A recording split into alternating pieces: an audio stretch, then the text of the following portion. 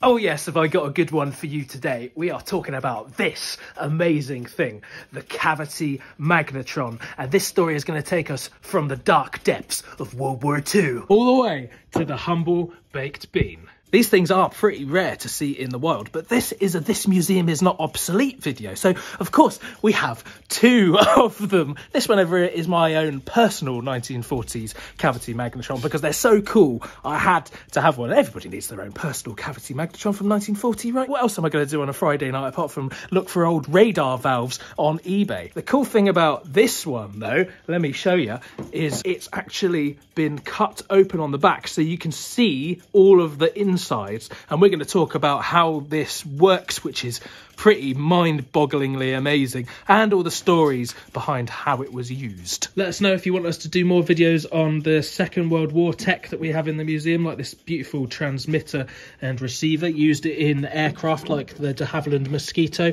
and Avro Lancaster. We've got an aerial reconnaissance camera and a radar screen as well. That's what these cavity magnetrons were used for, radar. Before electronic radar, they actually used these big, amazing concrete uh, dishes to try and pick up reflected sound coming across the channel to warn about bomber raids coming over. There's a load of those in Dungeness, which is not far from here, so you can go and see those when you come and visit us here at the museum. But moving into the radio era, the first types of uh, radar were absolutely massive on big pylons, and you couldn't take them anywhere, and they used long wavelengths, so you didn't get much detail.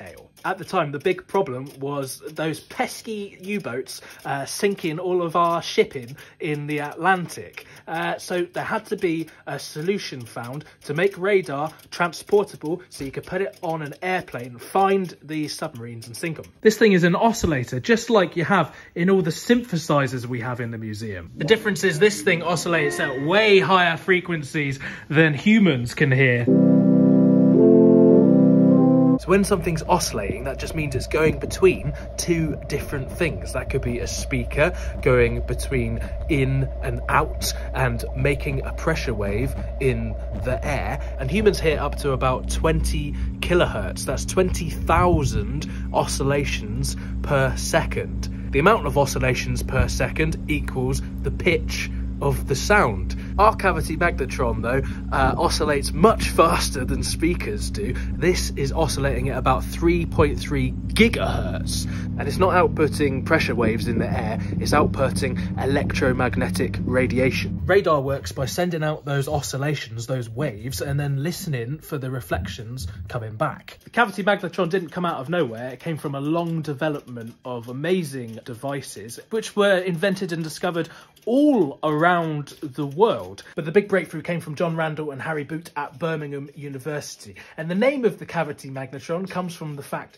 that you're using magnetic fields to steer the path of electrons, magnetron, yeah? And inside it has a load of resonant cavities. It looks like the cylinder of a revolver, and in fact, in the prototype stage, they used the jigs from Colt revolvers to manufacture these. So now you can put radar on an airplane and hunt down those U-boat wolf packs. And you can do that in all weathers and at night. And that's important because those U-boats had to surface to replenish their air supply and charge the batteries. And they used to do that under the cover of darkness. So now you can fly over and find them. And this is really important. We were importing a lot of vital things like food and war supplies from all the way around the world. And the U-boats posed a pretty big threat. When one of these got sent to the States, James Phinney Baxter from the Office of Scientific Research and Development said it was the most valuable cargo ever to reach US shores.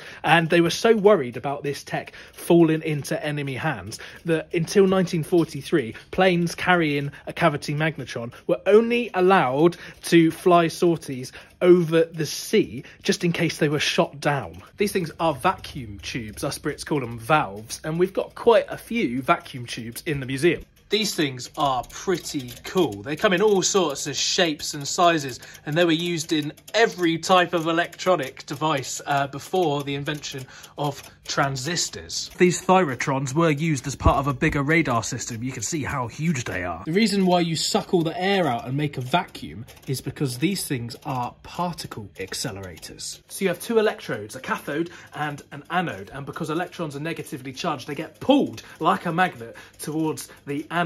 And if you have loads of air in the gap between them, they can't get through because they're colliding with all of those molecules. So you suck the air out, make a vacuum, and the electrons can jump across.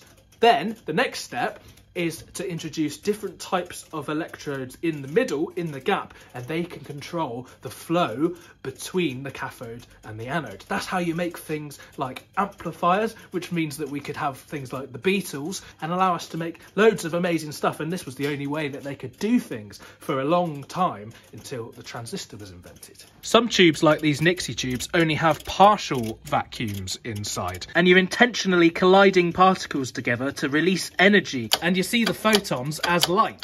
Filling the tubes with different gases gives different colour light. This neon is a nice orangey glow. Argon makes a lovely purple.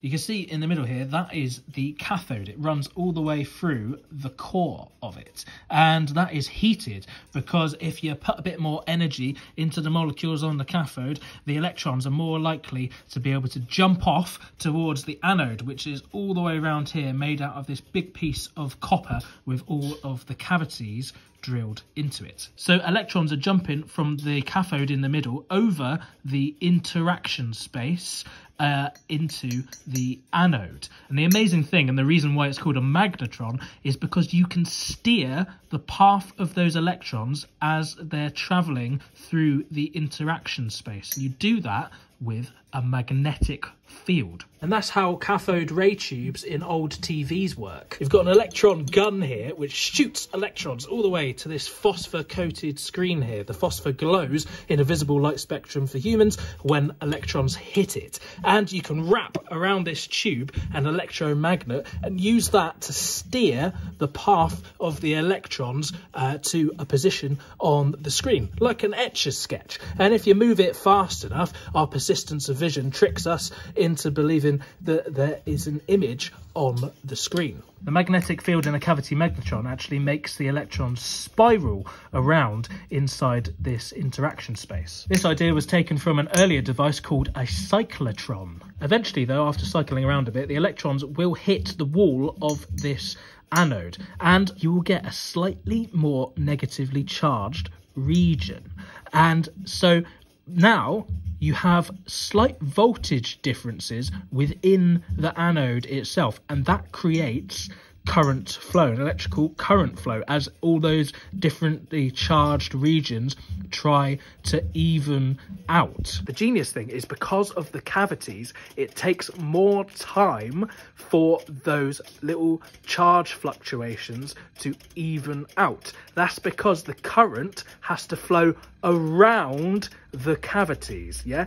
And you can actually tune the amount of time, uh, therefore the wavelength that this thing outputs by the size of those cavities. And so because of that time delay and the random stream of electrons constantly smashing into the anode and their path being uh, deflected and influenced by the fluctuating currents and charges within the anode itself, you have this amazing uh, spiraling, oscillating wave within this thing. In fact, there was a chap called Percy Spencer who was an engineer working on some radar technology, and he noticed one day that the chocolate bar in his pocket had melted. Uh, so he did a few more experiments. He put some popcorn kernels next to the radar device. They started popping, and at that point, I would have started to get a bit worried, but all ended well because he had in fact invented the microwave oven. You can tune the cavities in here so that they emit the wavelength that resonates with water molecules. That jiggles them about, heats them up, and that's how your food cooks in the microwave. There is a little experiment you can do at home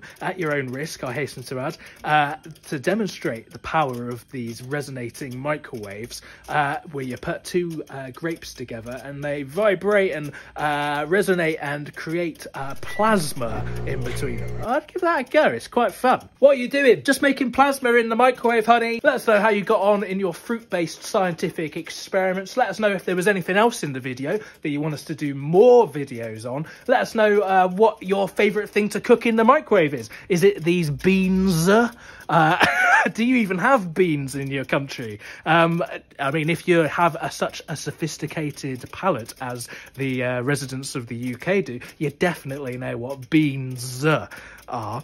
Um, and so uh, if you've been inspired by this video, you can uh, see all of the other videos that we've got on the channel already. You can also come and visit us in person. We've got loads of cool stuff around in the area, like those sound mirrors in Dungeness. Come for a nice seaside holiday. Uh, just on a short hop down on the train from London. We're based in Ramsgate in Kent. Uh, so you can also support us by clicking on the Patreon link down below in the description. Uh, that will take you through to loads of extra bonus content not publicly available on the YouTube and uh, also free downloads of all the sample packs that we've made. Uh, these are recordings of all things around the museum. We've got synthesizers, we've got drum machines, we've got clicks and clacks from a telephone exchange. You can cut these up and make beats and make awesome music. You can also book out of hours recording sessions so you can have free reign of everything around the museum, including this beautiful wall of Brüel Kjær test equipment. If you want to make a one-off donation to the museum, then you can click on the PayPal link below. There's also YouTube super thanks and buy me a coffee. Catch you in the next video.